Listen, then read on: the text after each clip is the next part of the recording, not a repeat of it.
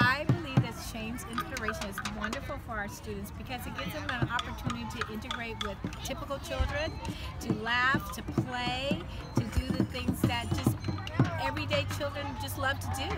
And they enjoy the fact that they can meet new friends and hopefully, you know, carry that inspiration throughout their their uh, uh, child's life, child's life. I think uh, you know it's actually good for the gen ed kids too because you know they, they get a chance to see um, how our kids, our special ed kids work, how they you know play, and they understand like hey they're not so different than Exactly. than myself. You know Yeah. we have a lot more similarities than maybe they realize. So I think that's really good. Really, yes, that's wonderful. Yes.